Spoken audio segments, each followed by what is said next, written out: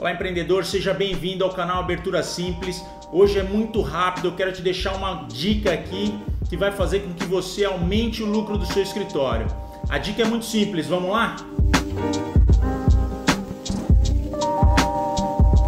Empreendedor, para aumentar o lucro do seu escritório, o que, que você tem que fazer? Você tem que olhar os seus custos. Por quê?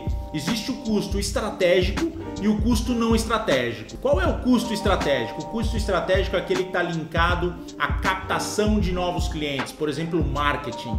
Esse custo você não tem que pensar em reduzir esse custo, você tem que pensar em aumentar esse custo porque vai te trazer mais clientes.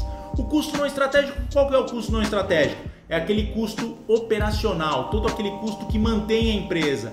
Esse você tem que olhar ele como se fosse as suas unhas do dedo.